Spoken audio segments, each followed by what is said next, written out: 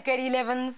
Now that we have finished the section on exponents and surds, it'll help if you check your understanding by doing a few tasks. I hope you enjoy doing them. The tasks in this video can also be found in a written form in the series guide which is called A Guide to Exponents and Surds. Question 1. Simplify the following expression. 6 to the power of 2m times by 4 to the power of negative m over 3 to the power of m in brackets squared. Question 2. Simplify the following expression. 3 to the power of x plus 1 times by 27 to the power of x minus 2 over 9 to the power of 2 bracket x minus 2 close bracket.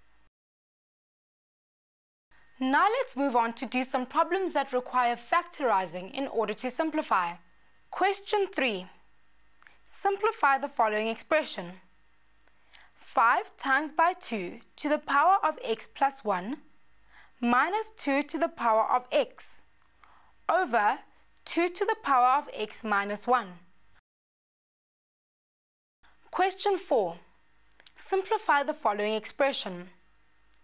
In brackets, we have a times b to the power of n minus 3 times by a to the power of n over b to the power of 2n plus 4 times by b to the power of n minus 21.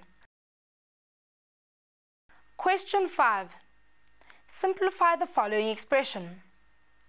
The square root of 12 plus the square root of 27 over the square root of 25. Now let's try some exponential equations. Question 6. Solve for x in the following. 5 to the power of 2x plus 1 equals to 125. Question 7. Solve for x in the following. 2 to the power of 2x plus 1 minus 2 to the power of 2x minus 1 minus 4 to the power of x is equal to 32. Question 8. Solve for x in the following. The square root of 20 minus 2x plus x minus 6 is equal to 0.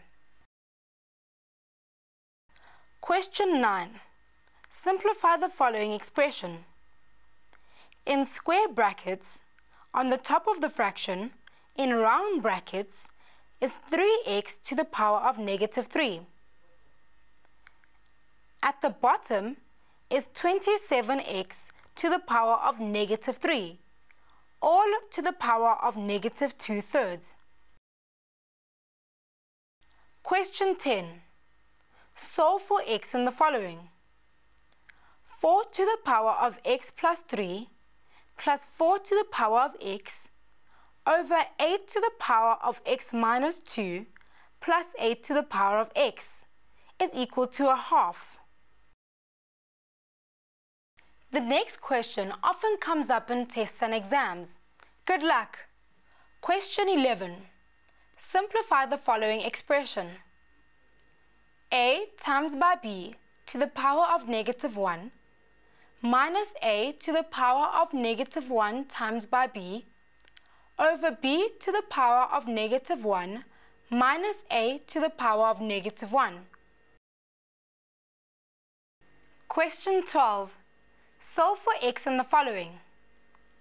5 to the power of 2x minus 30 times by 5 to the power of x plus 125 is equal to 0.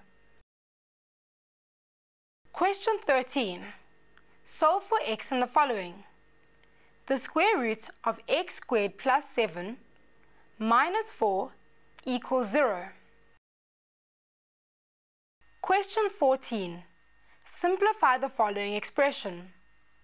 In the first bracket, we have the square root of 7 plus the square root of 5 squared plus in the second bracket, the square root of 7 minus the square root of 5 squared.